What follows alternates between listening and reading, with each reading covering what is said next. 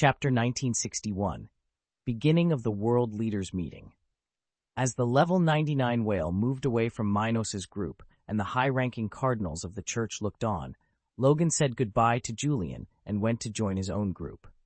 At the same time, one of the elves in charge of this meeting saw the tense little encounter between Minos's group and that of the spiritual church while they were being watched by the Trevisani family and noticed something strange about the young ninth stage human.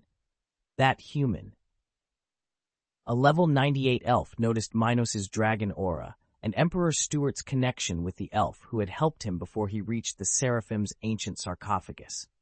Minos's destiny was tied to an elf, something any member of that race could easily sense. It seems that someone from my tribe has made an excellent deal with this young human. He smiled discreetly, seeing Minos was not ordinary, and his fate would be very valuable to such an elf. When an elf did well, the whole tribe won. So even though this man was not the one who had Minos's destiny, he was naturally pleased to see that a junior had made a deal with Emperor Stuart. Therefore, he was curious to know who held the destiny of such a strange human who was clearly connected to the dragons and the sea folk. They aren't the Pantheon of Honor members, so they are with that young sage. He thought as he watched the female member of the sea folk and the dragon walking very close to Minos. While the elf thought about the group, a level 97 representative of the Sky Whale tribe glared at Julian, seeing that the Pantheon of Honor dared to come to this meeting with a damned dragon. Those bastards call themselves neutral, but in reality, they see no problem in hanging out with a fucking dragon. One of the representatives of the strongest tribe in the world thought as he glared at Julian's group. The dragons were already there, represented by one of the elders Minos had recently met on the continent of beasts. I didn't expect to see this young man again so soon. The level 98 dragon thought as they stared at Minos's group in silence, surprised that this young human was there. He must be here as Julian's escort. The leader of the Phoenixes was also there, and wasn't surprised that Minos was with Julian, since he already knew this young man was part of the Pantheon of Honor. Hey, why is everyone looking at the Pantheon of Honor group? A young blonde woman, very well dressed, level 94, asked the leader of her group, a level 99 man. Looking at his niece, that peak expert sighed. I don't know. You don't know? The woman looked at her uncle, hearing such an answer for the first. Your Highness, don't blame the Supreme Elder. We can't possibly know everything. A level 97 man said to the blonde. The Supreme Elder of one of the three imperial houses on this continent said, I know that a few years ago, the Pantheon of Honor accepted the first member in its entire history with cultivation below level 90. I'm guessing it's this young man. Oh, that's impressive. He must be very talented, she thought. But that shouldn't be enough for him to attract all the attention, right? Look, the dragons, phoenixes, sky whales, elves, sea folk, the strongest of the central continent, you name it, everyone is looking at him. Only we from the divine continent don't seem to know what's going on here. The two people standing next to the princess remained silent, understanding her doubt, but having no idea what could be behind that unusual situation. At a meeting of demigods representing the strongest powers in the world, a sage had stolen all the attention. Perhaps he's someone famous outside our lands, your majesty. The advisor of one of the emperors present said to his leader, who, like the blonde princess, was curious about the situation of Julian's group. Find out for me. The old level 99 emperor said to his advisor, If possible, find a way to bring this young man to me. I'd like to know what this newest member of the Pantheon of Honor is like. While everyone else see, Imed to be talking or looking in Minos' direction, the strongest of the elves there, level 99, ignored Julian's group when he saw Sista's representative approaching. Senior Agis, where is Senior Ore? This level 97 man from the Sista asked, seeking information about the strongest of the elves. Looking at the human, a white-haired old man not far from the end of his life, the relatively young-looking elf, though much older than the human, said, Aurae Agolor is in seclusion. Seclusion? The man sent by Queen Sista thought about it, wondering what that word meant to someone at the absolute peak of the tenth stage. Will she try to advance? He wondered as he felt anxious, because the emergence of gods at this time might change a lot of the current circumstances in the spiritual world. Currently, there are no gods in this world. Therefore, the appearance of one would give the state, tribe, family, or organization that had such a being great power over everyone else. Of course, this was a bad thing, especially since these were times of crisis, different from normal when one didn't necessarily need to hinder or disrupt the lives of others in order to grow. But with a god on their side, the elven tribe could gain an unimaginable advantage over the world's other races in a time of chaos. This is terrible. The man thought to himself as he smiled and wished the strongest of the elves good luck. I hope His Majesty Vico succeeds in his seclusion. Only he can give us some balance in the difficult times ahead. There were currently three level 99 demigods in seclusion, trying to advance to level 100. In addition, there were rumors among powerful seers that a fourth divine medicine would appear after the Continental Tournament, and someone else would have the chance to advance one level in that generation. Considering how difficult things would be from now on, this man hoped that either everyone would fail in their attempts to advance, or beings from different races would achieve such a feat. Only then could the world remain stable in the face of the current chaotic era. With that in mind, the man returned to his group just before the elf he'd asked that question to stand up to get everyone's attention. Since you're all here, it's time to begin. Chapter 1962 The Importance of the Weakest. We are here today to discuss the next calamity that will hit the spiritual world in about 20 years, the New Ice Age. The level 99 elf said, drawing everyone's attention there in a large tent where the meetings of these world leaders would take place. Inside that tent were a few tables here and there, sofas, cushions, in short, places where the members of the world's greatest powers could sit as they pleased. Standing around were the companions of each group, as well as a few elves who served drinks and snacks to the groups of specialists present. As the elf spoke loudly for all to hear, those who were still chatting, revisiting their acquaintances, or meeting new groups, everyone stopped their random conversations, fell silent, and turned their attention to the most important topic of the moment. Julian sat in a chair next to a round table that could seat up to eight people while Minos and his team stood beside him. Ignoring the many experts around, Minos looked at the level 99 elf who had started this event, curious to see what would be decided there.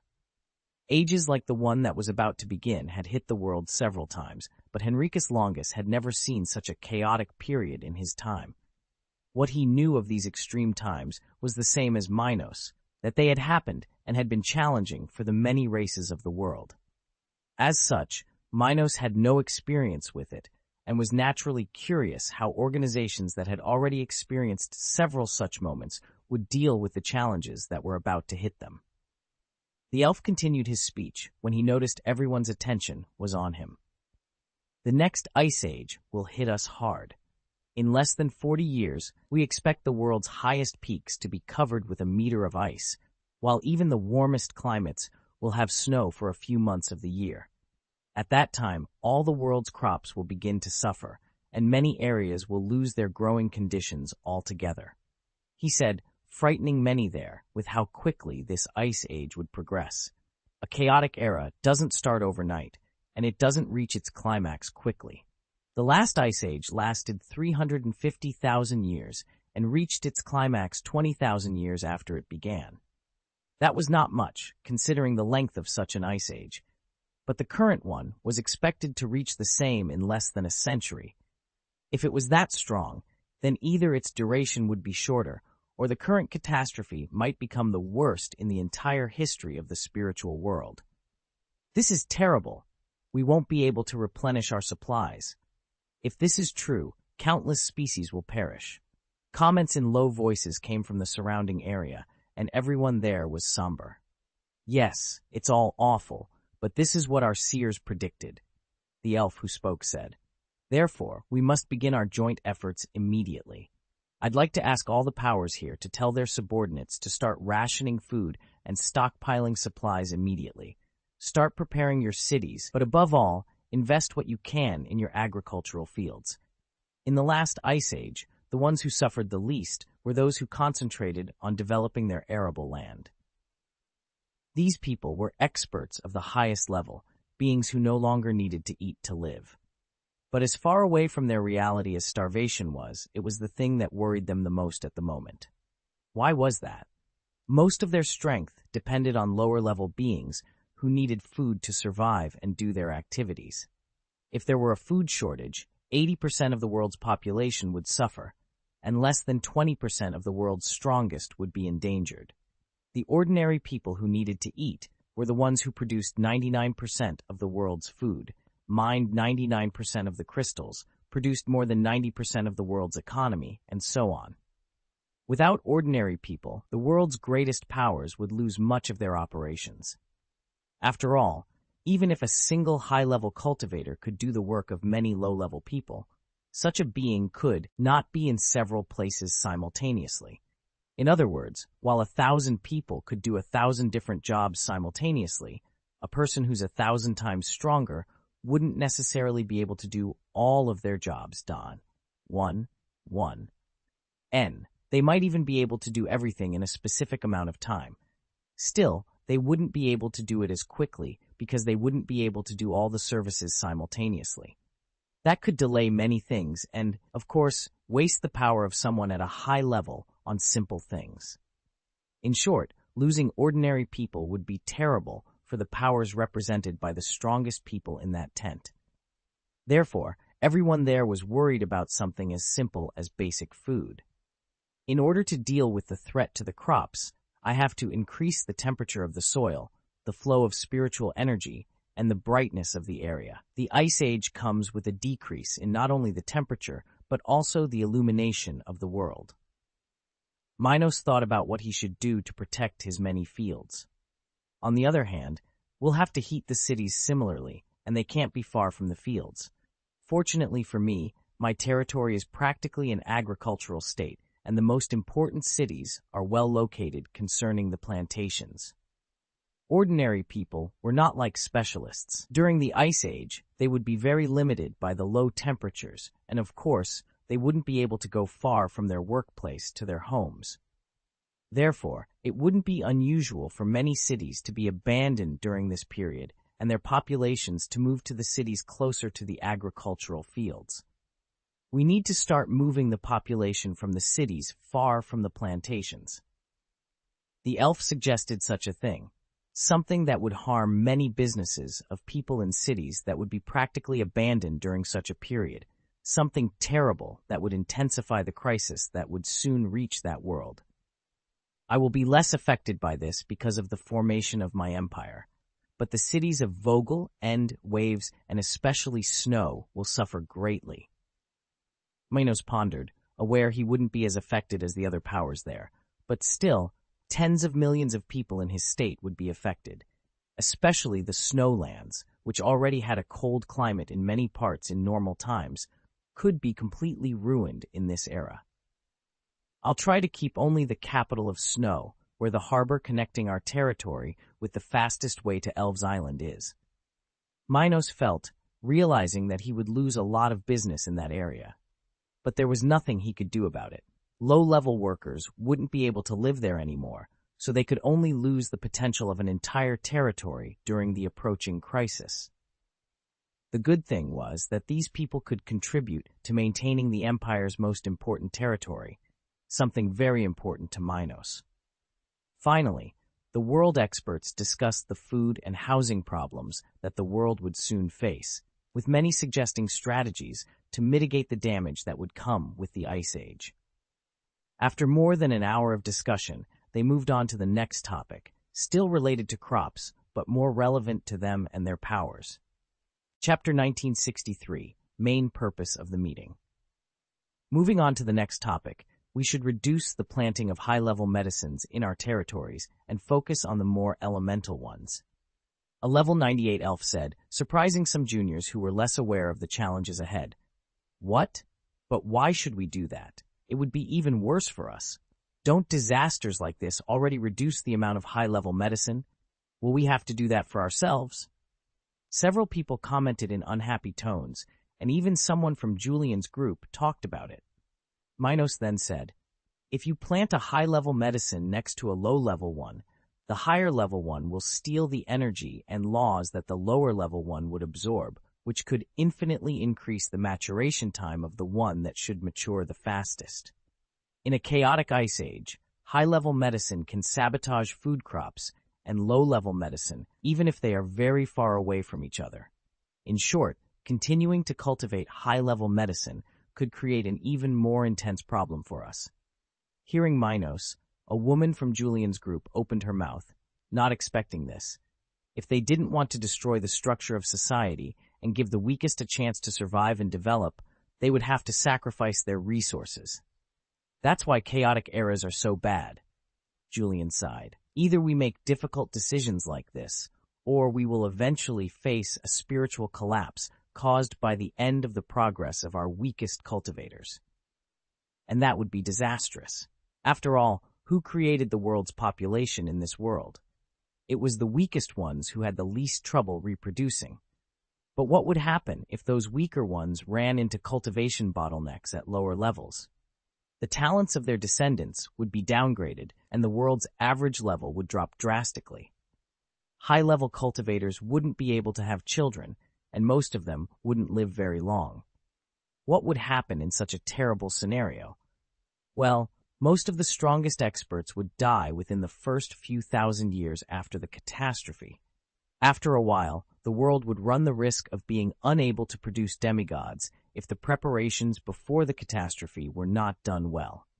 Throughout history, several races have perished because of this, so even the strongest were willing to cut back on the production of high-level resources from their territories, even if it was counterintuitive. In practice, this meant they would have to immediately start rationing medicine and reducing the overall production of resources such as pills.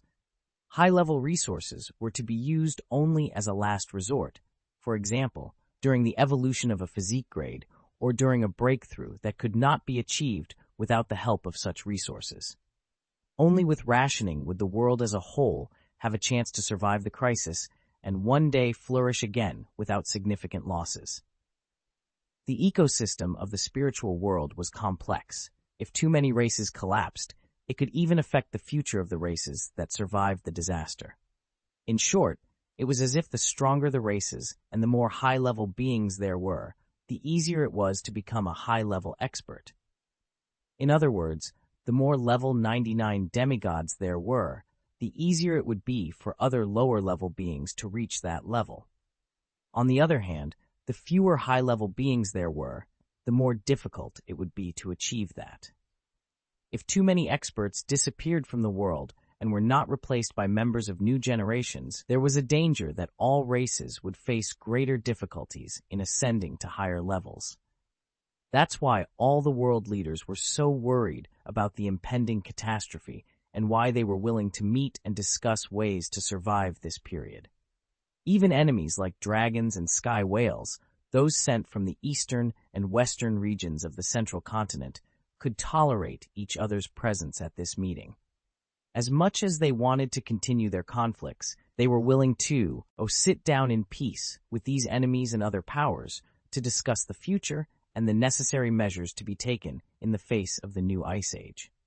Several people, including humans, beasts, and hybrids, expressed their opinions on the matter, discussing how to utilize their resources more efficiently while reducing the number of high-grade medicine plantations.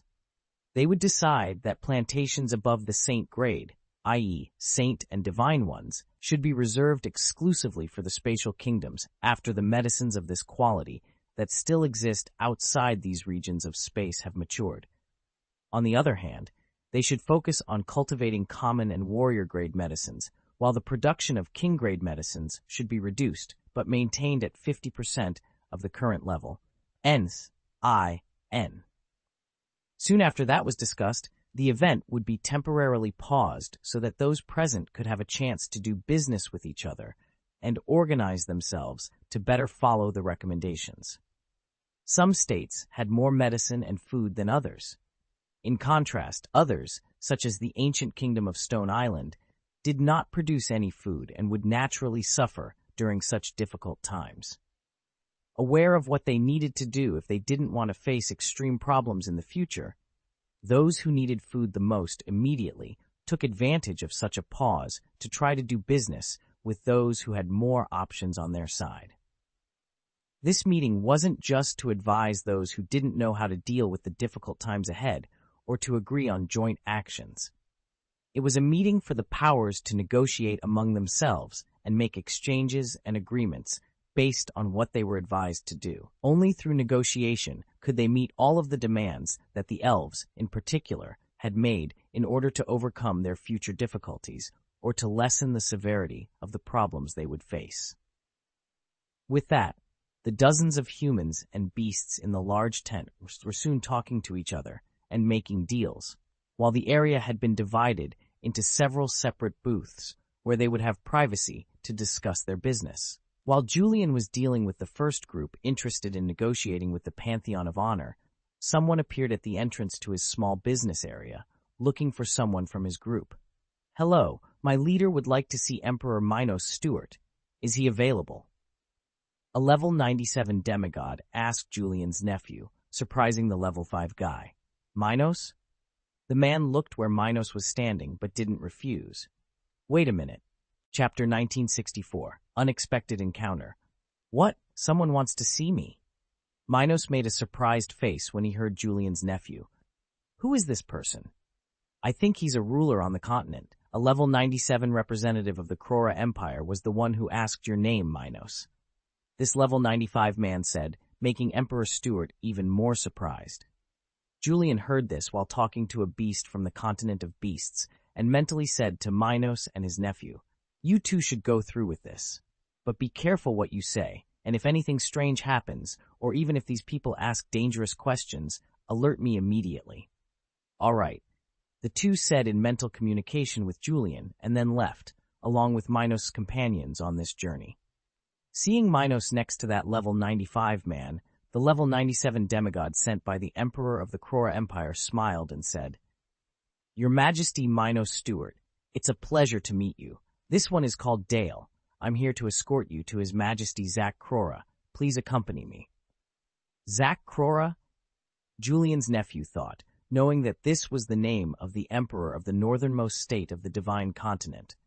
What would someone like him want with Minos? He asked himself, somewhat curious but also worried.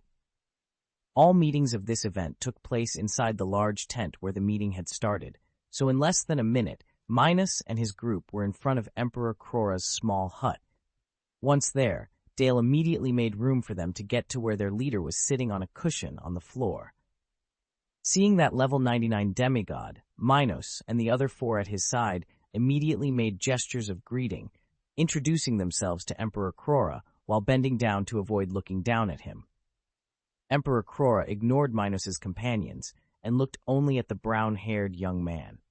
Young Minos, I've been looking forward to meeting you, he said with a smile, making the wrinkles and expression lines on his face more friendly, making him look like a kind old man. Your Majesty must be joking. I'm just a nobody, Minos said sincerely. No matter how high his talent and how significant his possessions were, compared to that man, he was no different than an ordinary person. Don't be so modest, young man. One day you'll get far enough to be respected by experts as strong or influential as me. Zack commented before addressing what he wanted to do with Minos. Anyway, I'm curious about you, young man. To enter the Pantheon of Honor as a sage at such a young age is an impressive achievement. I'd like to know how you did it. I know people at level 95 who don't have the same privileges as you. He said as he looked at Minos, still with a friendly expression. I was lucky. Minos spoke. The elder Julian found me, and he saw potential in me with his ability. That's all. Maybe others around the world are better than me in many ways, but lack the opportunity to come in contact with an expert who doesn't want them dead. Hmm. Luck definitely helps those with skills, Zack commented, not thinking it was a lie, even though Minos had skillfully hidden what Julian had seen in him. Zack also recognized the ability of young people to deal with experts of his level, so he didn't press Minos, since the young man had evaded the question without showing any ill will towards him. And what do you think about this ice age that will hit us, young Minos? I know you have a large population to feed. How do you plan to deal with these times? Sigh. It will be complicated. I believe the times ahead will be far worse than anyone can imagine, Your Majesty. Hundreds of millions of living beings, perhaps even more than a billion, will perish in the next 50 years. N slash mass N. So I'm not too excited. The challenges ahead will bring out the worst and the best in all of us. Minos answered without mentioning his concerns about the North Sea. It wasn't interesting to talk about the fact that there might be beings from outside the spiritual world threatening a world about to enter what might be the most extreme ice age of all. There was a limit to how much bad information one could give to others without causing unnecessary misunderstandings and problems. Hearing Minos's solemn tone, the emperor and his two right-hand men who stood with him looked earnestly at the young man before them, giving him room to say what was in his heart. But I have many plans to protect my state. As soon as I return to the central continent, I will begin internal migrations in my territory and focus on investing in the most important cities and agricultural fields. I have many alliances throughout the central continent and beyond, so I intend to do business with my partners, establishing special routes and resource exchanges that will be good for my state. I hope to have everything ready before the new ice age begins in 20 years. Hmm, that's the right thing to do, Zack commented before asking.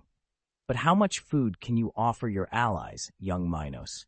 I know you probably don't have many high-level medicine plantations, given the old reality of your state. So your state will probably have a good chance of success with food crops and low-level medicine. Zack's logic was simple. The northern region of the central continent suffered from spiritual poverty, so even with the improvements Minos had made in recent decades, there shouldn't be any saint medicine plantations there. That meant there would be nothing to stop the Black Plain Empire from developing its foods and medicines, giving it an advantage in these productions over states that would have to wait for high-grade crops to mature. Thus, while Minos would probably have few high-grade medicines, he would have plenty of food to trade. If Minos had plenty of common food to trade, someone like him, the leader of the Crora Empire, would have high-level medicine to trade for common food. His state was huge, with a population even larger than that of the Black Plain Empire, but with less arable land than Minos's domains. In other words, he would have to import food if he wanted his state to suffer less during the coming ice age. Doing business with Minos might be the best thing for him and his state. Oh? Chapter 1965, accidentally the most influential. When he realized what Emperor Crora wanted, Minos was surprised at first, as he hadn't expected a leader of a high-ranking state to want to do business with him. But when he stopped to analyze his and the world's current situation, Minos realized that he could be considered as important or even more important than some high-ranking powers. No matter how weak he was, he had allies who could guarantee his operations. As the leader of the Black Plain Empire, he had such a large arable land that his state could be one of the top food producers in the spiritual world. Even though the Black Plain Empire still had to improve a lot to be able to compete with the top-level empires, and even though he, as a ruler, was far away from people like Zack due to the approaching Ice Age, Minos could already sit at the table with experts like this emperor in front of him. He hadn't received an invitation from the elves, but he could be considered one of the most important people at this meeting, which had as its crucial point the plantations around the world during the Ice Age. That is true. My agricultural fields are the largest in the entire central continent. I have more to trade than states like Evergreen Empire, Sista, Lusmate, Eastern Empire, etc. Minos thought about how to answer Emperor Crora's question. My state currently produces about 8 billion tons of food per year. In normal times, I can provide 40% of that. During an ice age, I'm not sure. I don't know how much my harvest will be affected. Eight billion tons? One of the two men behind Emperor Crora asked in surprise, not expecting the production of the Black Plain Empire to be that high. But these three men didn't understand the current food reality of the central continent. At present, more than 70% of the continent is fed by resources planted and harvested in the Black Plain Empire. The empire Minos created was now the largest agricultural breadbasket in the world. No one knew this because of the lack of information and contacts between the various players in the market, but that was the case. Hearing Minos's words, the men of the Crora Empire and those behind him were amazed at Emperor Stuart's production capacity. But Minos had lowered his estimate of how much he should be able to offer now. With the expansion of the marine part of his empire in the northeast of the ancestral sea, his underwater plantations would increase such production significantly. He was sure that in a few years, he could significantly increase the amount of food at his disposal. Minos replied, Yes, that's right. I can trade about 3.2 billion tons of food with my disposal. Minos replied, Yes, that's right. I can trade about 3.2 billion tons of food with my allies.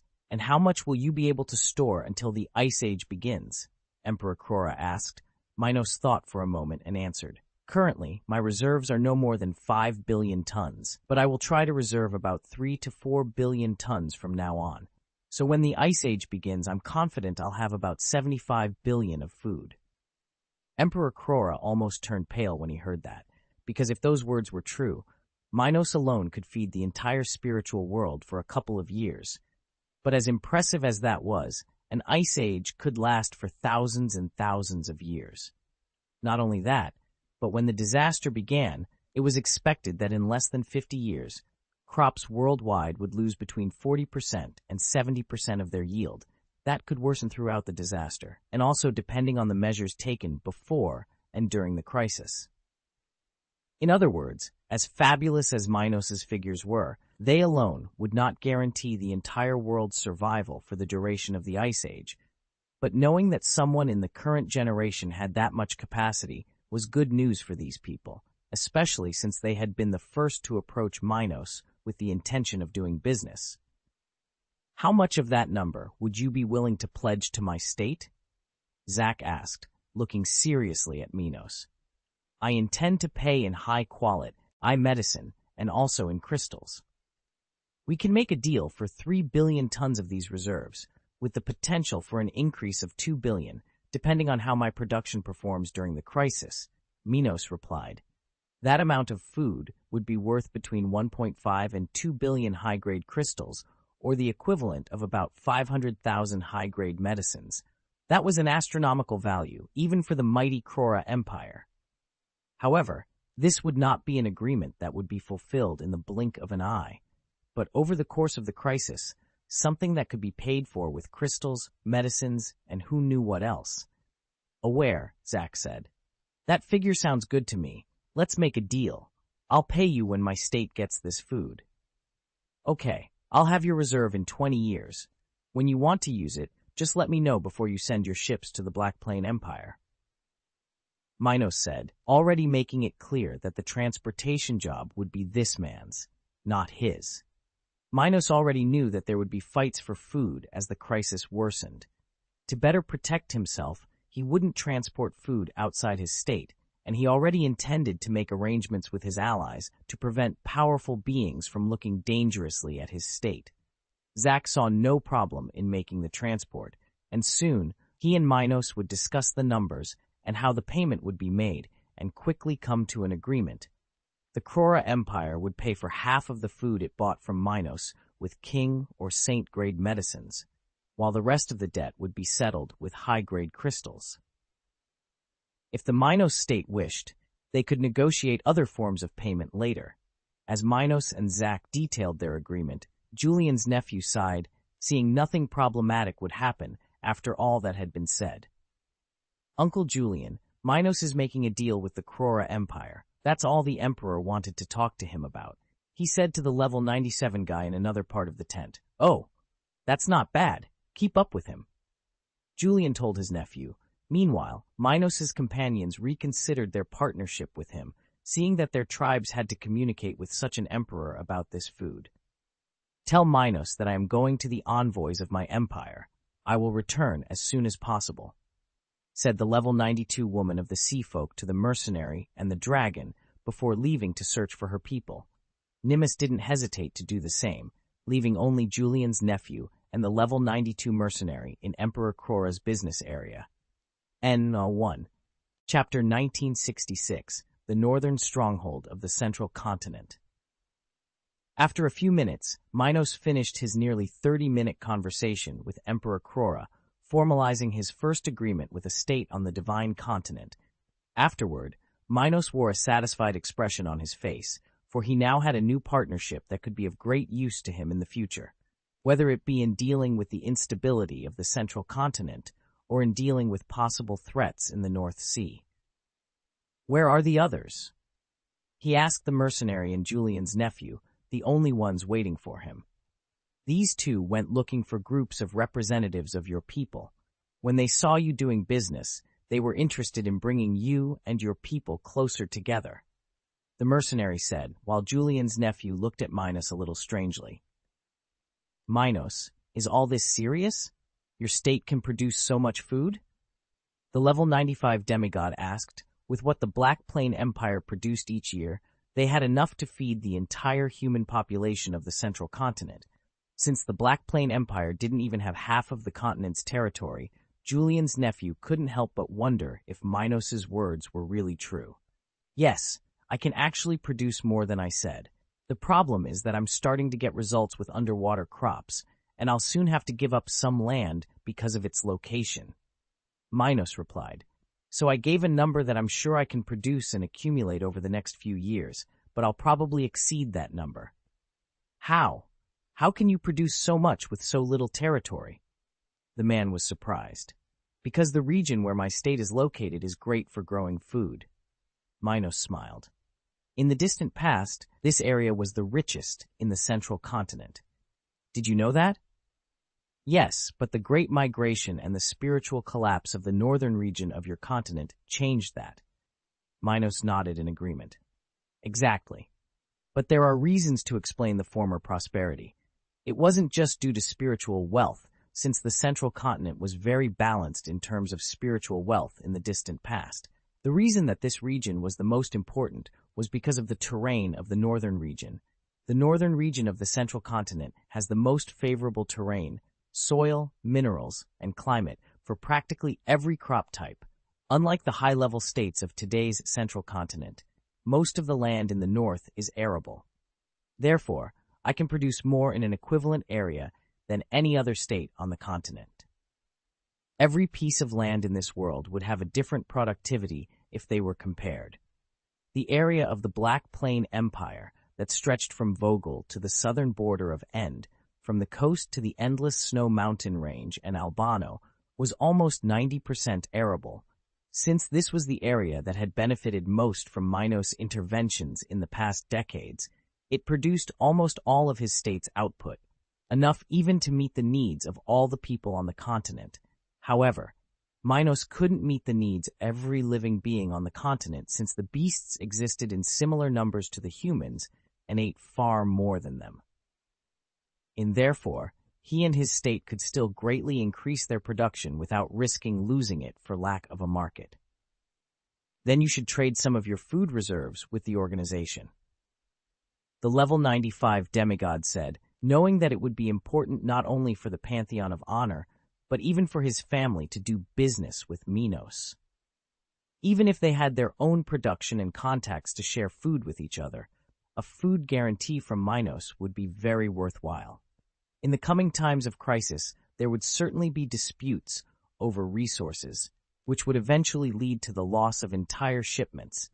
It would be good to have more than one supplier in such a catastrophe so that such a loss would not hit them even harder. I'm open for business, Minos said with a smile on his face. However, if we do business, I will have problems, and I will need the help of Flip, my allies. What problems? The man asked as he, the mercenary, and Minos walked back to where Julian was standing. As I make deals regarding my food reserves, I will be unable to make new deals and will become a target of those with fewer deals. That could eventually make my state a target for powerful organizations. In order to protect my people and the resources in their interest, I will need protection and an upfront payment for every deal we make. Minos narrowed his eyes and took the opportunity to make other demands. The leader of the Crora Empire, for example, had made a simpler agreement with Minos. However, he had been the first to do so, and according to Emperor Stuart, he Bafber. When making such important agreements, one was not obliged to treat all partners equally. The leader of the Crora Empire, for example, had made a simpler agreement with Minos. However, he had been the first to do so, and according to Emperor Stuart, he hadn't been the last. Now that his resources would be more important to outside powers than before, Minos had no reason to continue with the same strategy as before. If you want, the protection itself could be considered as an advance payment for some of the resources, even if it will be for the good of both sides, Minos added, making his offer more attractive. The level 95 demigod saw no problem with that, as it made perfect sense that Minos would try to protect himself and that his allies were the only ones with the power to do so. We can be trusted because we're from the same organization. At the same time, this could give our side a big discount, while others will probably have to pay a part of the bill for us. He thought as he saw the dragon return to Minos' side, imagining that other, less reliable organizations would have to make different payments, which would probably offset some expenses that might have been theirs but could be passed on to others. I'll see what I can do with my uncle. He said, knowing there would be arrangements within the Pantheon of Honor regarding that matter. The Pantheon of Honor was basically made up of demigods, but all of these experts had their families, and many of them were still members of other organizations, sects, clans, and so on. They certainly had low-level people who depended on such food. When they arrived where Julian was alone, Nimbus took the opportunity to say, Minos, my tribe is interested in doing business with you. We'll give you support, resources, in short, anything you want in exchange for low-grade food and medicine. Oh, that's good, Minos laughed. The dragons want that? But will you be able to suppress the dragon's demand, Minos? Julian asked. Yes, Minos said. Even though each dragon eats 200 to 1,500 times more than humans, their numbers are much smaller than humans. Trading some of my reserves with them won't be that complicated. And how much can you offer our faction? Julian came straight to the point, using his group to make a deal with Minos, since together they were as influential as a state. At the same time, Minos's food reserves in the Pantheon of Honor would give his faction an advantage over the others in that organization. The same as I offered to the Crora Empire. Either way, it's up to you but I need demigods to protect my crops and storehouses. Minos asked. Hmm, we can do that. With that, Minos would soon be in business with Julian. Chapter 1967 Excellent Accords While Minos negotiated with Julian, agreeing on the points that needed to be met in order for their faction to have rights to the Black Plain Empire's food reserves, Niam was with the group of Marine Empire representatives. In another part of the huge tent, the level 92 woman, who had been traveling with Minos for years, was standing in front of a level 98 Marine Empire emissary.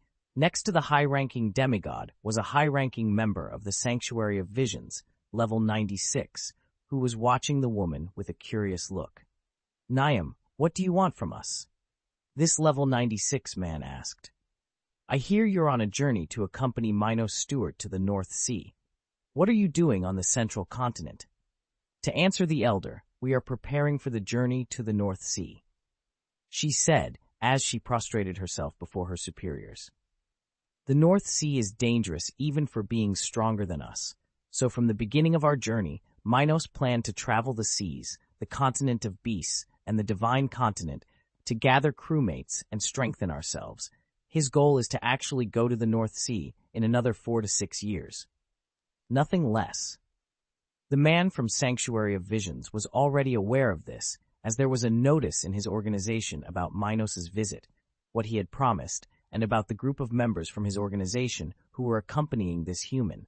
Minos had done what he had promised so far, so this man had no suspicions about Emperor Stuart and the possibility that he was using his organization to strengthen himself. In any case, Minos was not expected to attend this event, so not in any case, Minos was not expected to attend this event. So not only he, but also the members of the imperial lineage who were there to represent the Marine Empire were naturally curious about the situation of the young Emperor Stuart's group, in particular, They wanted to know what this woman, or perhaps Minos, wanted with them. And why are you here? The level 98 demigod asked. Is Minos Stuart trying to contact us in some way? No, I came here on my own. Niam replied, getting right to the point. Minos Stuart is more powerful than anyone can imagine. I don't just mean in spiritual power, but in influence.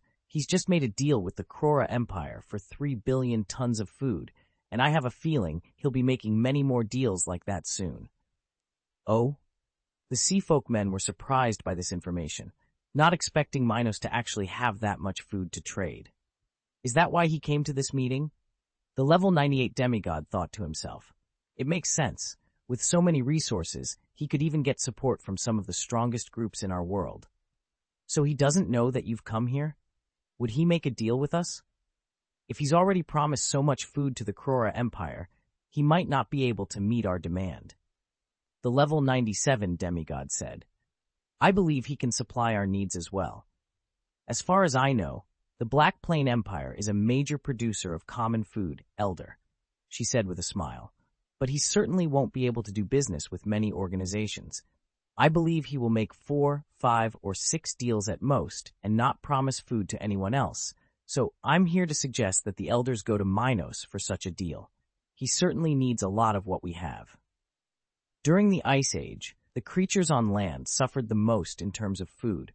Water's ability to retain heat far exceeded the atmosphere's, so the ocean floor could remain relatively warm during such eras, meaning that some marine food production would not decline during such a crisis. However, a significant portion of the food of underwater origin came from a region where the light from the surface reached a strip of water that would be immensely affected during the Ice Age. Marine food production would definitely decrease during the Ice Age, although the decrease would be less than on land. So, even beings who could live on the surface or underwater might need food deals like the one Minos had made earlier with Emperor Crora. You have done well, Ni, AMH. Please arrange a meeting between us and Emperor Minos Stuart's group. The level 98 demigod said, seeing no problem in further strengthening the relationship between his empire and this young human. An hour and a half later, Minos had already made two or three new agreements about food and had made reservations for the dragons, the sea folk, and Julian's faction. With the food promised to Zack, Minos now had to gather the equivalent of 13 billion tons of food over the next few decades to meet the demands of these treaties. That was small compared to his productive capacity. Still, his empire and its alliances before this day consumed most of what was produced annually. Moreover, his state would need a significant portion of its reserves during the Ice Age. With this in mind, Minos didn't plan to make many more treaties than these four. But with just these four treaties, he had managed to secure the future of the Black Plain Empire. Over the next 20 years, these four powers would pay him about 15% of the promised food, enough for him to invest in the agriculture of his entire territory to protect himself from any future crisis. At the same time, Julian, the dragons, and the sea folk would send three mid-level demigods to the Black Plain Empire over the next 10 years, one every three years, starting at the end of next year. In addition, when the Ice Age actually began and began to significantly affect the entire world, these three powers would take turns protecting that area with at least one high-ranking demigod. With that decided, Minos was one of the biggest beneficiaries of this first day of the world leaders meeting, quickly attracting the attention of those attending the event. Few knew what he had discussed with his new or old allies. But everyone at the event could easily see that Minos was the one who had met the most with the forces represented at the event. It wouldn't be long before the elves turned their attention to him again. Minos Stuart, it seems that your influence is greater than I had imagined. Thought one of the strongest elves in charge of the gathering, curious to see what this young man had to offer. N. N. Comment. Chapter 1968. Conversations with Elves. 1. Minos Stuart, I want to see you in person. Come to me. A voice reached the minds of Minos and everyone in his group, including Julian, and made them look in the direction of where the elves, the leaders of this meeting, should be. Such a voice. Julian recognized who was behind that message and immediately realized that one of the strongest people on Elven Island wanted to meet with Minos. Minos, you must go and meet him. But be careful and as respectful as possible. That being is probably the strongest here at the moment. Julian said, looking soberly at the brown-haired young man in front of him. Even the strongest sky whale there, representing his tribe, lost in strength to that elf. As was said before, just because the sky whale tribe was the strongest in the spiritual world, it didn't mean that every member of the race was stronger than members of other races at the same level. For example, there were level 99 humans who were stronger than level 99 sky whales. That was extremely rare, and most sky whales were much stronger than those of other races at their level. 1. N. But the elf who had just called Minos was one of those rare exceptions, someone who was second in strength only to the leader of the sky whale tribe. Okay, then I'd better go alone. Minos looked at his companions, confident that the elves wouldn't do anything against him. Many experts were there, and Minos had already made deals with several groups. What's more, his leadership of the Black Plain Empire could serve the elves' purpose of keeping as much of the, spiritual world as possible at a high level during and after the crisis that was about to hit the world. Elves were the protectors of nature, of the world itself, but also those who benefited most from the spiritual riches of the spiritual world. To them, anyone who acted in defense of the world and did things that brought wealth to the world was welcome. Knowing the truth, though aware of the elves' dirty side, Minos set out to meet this level 99 elder. In the blink of an eye, he entered a small room inside the large tent of that camp, where he encountered two elves sitting on cushions on the floor, drinking some sort of hot beverage. Seniors. Minos made a gesture of greeting to the two individuals there, one a level 99 elf and the other a level 98. Both had greenish skin, blonde hair, and an extremely youthful appearance, with their characteristic large pointed ears. These were the common characteristics of all elves, something that made it easy for an inattentive person to confuse two elves of the same gender. Minos Stuart, the weaker of the two looked into the brown eyes of the human standing before him and his companion and saw a glimpse of the young man's fate while feeling his powerful aura and spiritual fluctuation. You are truly a rare gem. Where exactly are you from, Minos? Who were your parents? Ordinary people, far away to the greatness of the elders, Minos answered sincerely. As expected, indeed, you are a child destined for disaster. The stronger elf muttered while analyzing Minos at the same time. Does the senior think I'm unusual because of the difficult times ahead? Minos easily understood the elf's words, knowing hard times made strong warriors. Yes, I do, but that doesn't take away from your merit. The world gives its inhabitants more powers when in danger, but the things you've achieved are not guaranteed just because you were chosen randomly. The elf said, slowly speaking as he used a piece of bamboo to shape the steam from his tea. The steam took the shape of the things he was talking about, showing Minos an animation of a world in trouble, with several stars appearing around it. We elves are also part of the world's chosen ones, so we protect it. Do you understand that, Minos? I can see that someone from my tribe has made a deal with you, so I'm afraid you understand us wrong.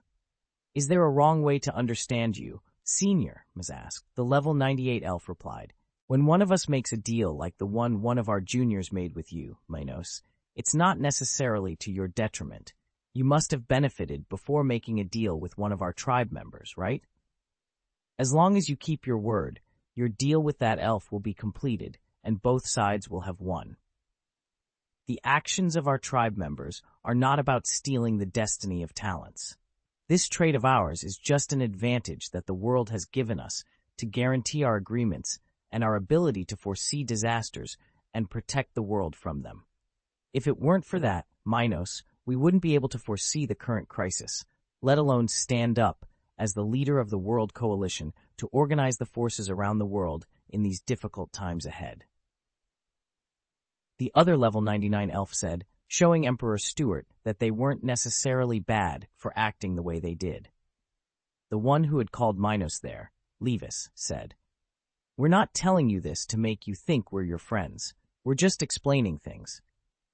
Many people don't understand why we act as we do, which can greatly hinder our plans for the world in this difficult time. I know you must hold a grudge against the elf who forced a deal on you, but you shouldn't think it was necessarily done to harm you or that the elf tribe has that intention. A few of us deviate from the norm and do things we despise, but most of us just use the ultimate consequence of our agreements so that we don't lose all the investment we've made in people like you.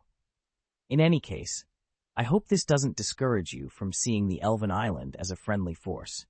As long as you have the same goal as us, and I know you do, we'll be fine, and we can have a great time working together. Work together? Is that why the senior called me here? Minos asked. The level 99 elf placed a pillow beside him and pointed to Minos. Sit here. Let's talk as equals. Oh? Minos didn't disagree with the elf's recommendation, but he hadn't expected to be treated like that. But there was a reason for it. We heard that you're going to the North Sea. Is that true? Kolvar, a level 98 elf, asked, having already heard from the dragons and the sea folk about Minos's group and how he intended to go to the most dangerous sea in the spiritual world. As expected, the seniors know about it. Minos smiled. Chapter 1969, Conversations with Elves, 2. Yes, it's true. I plan to go to the North Sea after making some preparations in the Black Plain Empire. That should take a few years, but before the Ice Age even begins, I should have finished exploring that area. Minos said before smiling with a more humorous remark. If I survive, of course. But as much as he had joked about it, that was a risk that not only he, but also Kolvar and Levis recognized. So your fears about that area are real? Levis asked soberly, aware Minos had disturbing theories about the world's future. The elves were very close to the sea folk. After Minos had stood out in this meeting, even though he was the weakest of the many individuals in the camp, they had sought out their old friends to talk about Emperor Stuart. Through it, the elves learned of the agreements Minos had made today, as well as his fears and the agreement he had made with the Sanctuary of Visions. But unlike many beings in this world who would doubt Minos at first, the elves knew something serious was coming long before they noticed the Ice Age. An Ice Age, or any chaotic age, would be enough to worry the elders of the elven tribe. However, these were phenomena that happened in the spiritual world from time to time, something that was predictable and part of reality. As such, one catastrophic era shouldn't have been enough to make some of the strongest elders of the elven tribe feel uneasy years before the signs of the Ice Age appeared. The elves knew something else would affect the world in the near future, which not even their strongest seers could tell what it was, where it would come from, or when it would appear. It worried them, having learned Minos had similar fears to theirs, but with much better developed theories about where the threat would come from and what might be behind it, these elves wanted to discuss the matter with him. Minos didn't hide his thoughts. I think so. I can't say for sure, but my suspicions seem to make more and more sense as I grow stronger and learn more about the truth of our world. I feel the North Sea is not supposed to be the way it is now. What's more, some reports from survivors of shipwrecks in the area agree with my theories, which makes me think perhaps there is a problem there that everyone is ignoring. I intend to travel to gather evidence and alert the world to the possible existence of extraterrestrial beings in the North Sea. Extraterritorial beings? The two realized Minos' theory put living beings behind such a threat. Yes, I believe that we are not alone in the universe. The spiritual world is just one of many other places where life can exist, Minos said. I say this considering the distant history of our world, especially the great skeletons scattered around the world. As he spoke, Minos made the two elves move their eyes and look at each other as they realized he knew things and had a theory that went toward the secret truth of the elves. Like the dragons, the beings of that tribe also had their primordial ancestor, to whom they attributed their origin and whom they secretly worshipped on their island. Throughout history, they had never revealed the truth about it, but Minos had come up with a theory that was very close to their own, considering it. Minos knew more than the elves, but even without talking to a soul fragment like Fahum of Dunov, the elves had an idea that in the prehistoric past of the world, a larger world existed in place of the spiritual world. Such a primitive world was definitely of a higher level than the present one. Otherwise, it wouldn't make sense for such great beings to have existed, capable of leaving mysterious skeletons behind. The spiritual world was definitely not capable of supporting the cultivation and existence of such beings. That presupposed that there was something more prominent than the spiritual world in the past, and this world was a small part of that great realm. That was the elves' theory about the giant skeletons around the spiritual world, which they believed could be related to Minos' theory about life outside their planet. The two elves came up with different theories to Minos' words. Does he think there could be other fragments like our world with life equal to or greater than ours? Livus thought. Kolvar pondered. Perhaps there are other places similar to the world of the time of the ancestor. If that's the case, we could be in big trouble. A single living being with the power of our ancestor's corpse would be enough to decimate the spiritual world. This is really worrying. They both agreed. Levis said, If what you think is true, the ice age ahead of us could be much worse. Why didn't you try to warn the other powers at this meeting? I don't want to cause panic.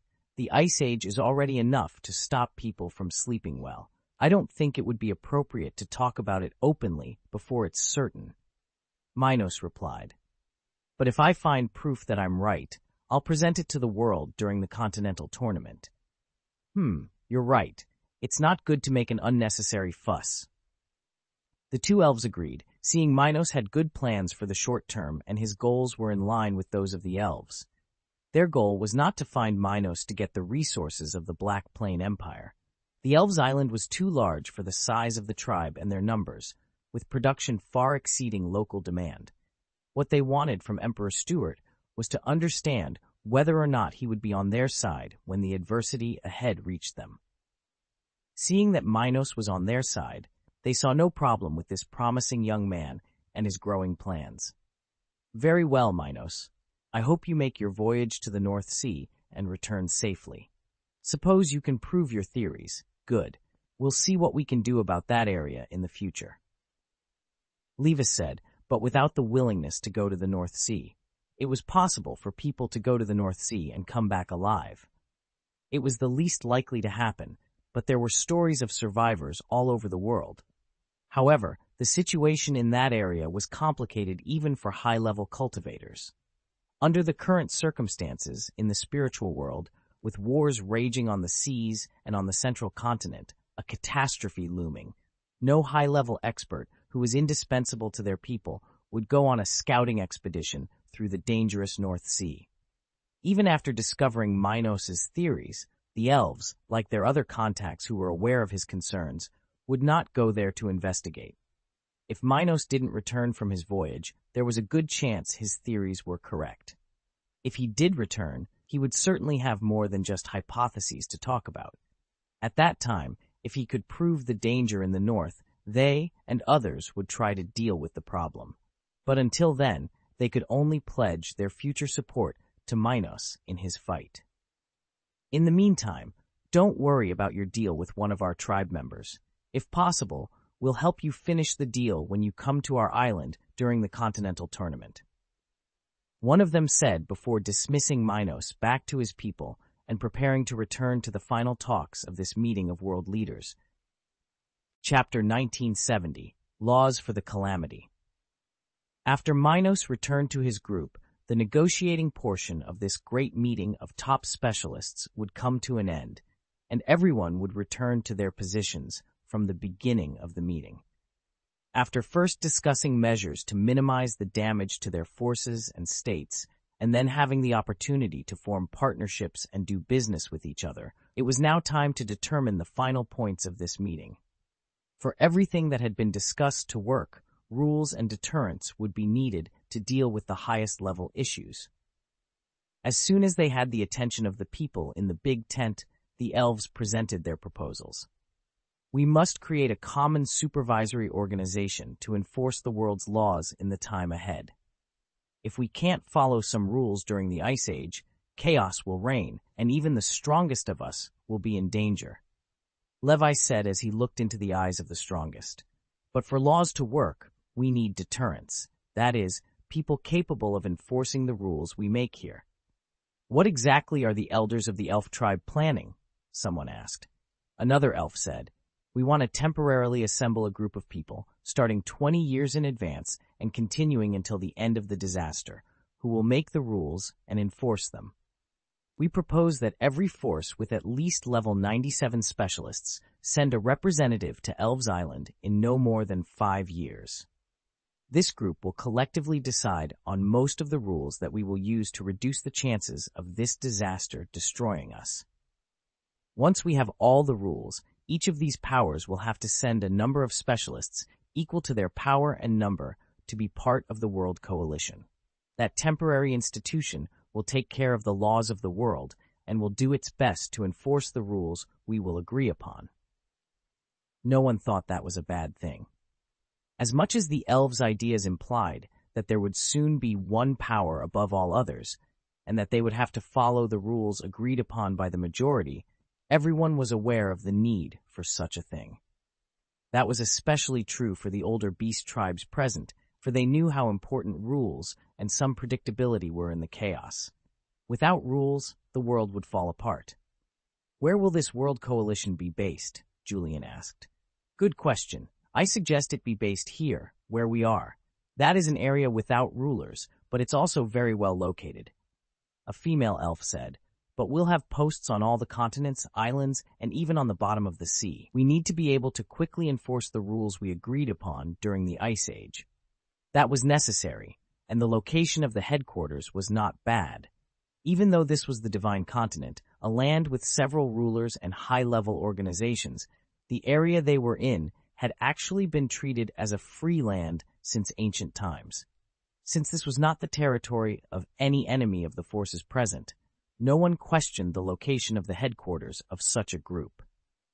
Anyway, if everyone agrees, let's decide on our basic laws, Levis said, aware that they couldn't stay there to discuss every single rule, which was why they would let representatives do that for them over the next few years. But at the same time, as the strongest, they should decide on the basic rules for the time to come. As a suggestion, I propose that wars between high-level powers or between states be banned from the beginning of the Ice Age, Levis commented, looking at the area where the sky whales were. Don't get me wrong, I don't want to ban fighting. It's just general wars. If a power feels offended by a foreign act, it has the right to defend itself or to strike back but I don't think it would benefit the world for two or more powers to be involved in a generalized war. After Levis closed his mouth, the strongest people in the room weighed in on the issue, with many agreeing that generalized wars would be bad, but that long-standing conflicts couldn't simply be resolved that way. I propose that wars started after this day be banned, regardless of their justification. A level 97 dragon spoke up. As for old wars, I propose letting the parties involved settle them by a certain date. From then on, even if the confrontation has not been resolved, the parties will have to stop their movements. Oina Skywhale agreed, wanting to continue the war with the dragons. I agree, and I go further. I suggest that before this date, wars should not last more than 40 years. That will ensure the world will be at peace when disaster reaches its climax. Several supporters of the Dragons and Sky Whales spoke in their favor, and even Maximilian and Vico's emissaries agreed. It was terrible for both sides to stop a war in the middle before the winner had been decided. In other words, both sides had to invest a lot, and a lot was lost during the war. Victory could bring many benefits, but until it was achieved, the warring powers would only have losses. How could they agree to stop fighting before the winner was determined? Therefore, everyone currently at war wanted to continue their wars. So the majority present soon agreed that wars before that day would have 40 years from today to be resolved, while new conflicts after such a day would be forbidden. However, one of the dragons there suggested that if the conflict couldn't be resolved in the remaining time, then a single battle of three matches would determine the winner of the conflict after that time. Since this would not be a general battle, and since it was not certain that it would happen, almost everyone agreed to go along with the proposal. With it agreed upon, They would soon decide on other fundamental laws, such as not allowing the extermination of entire species after the present date.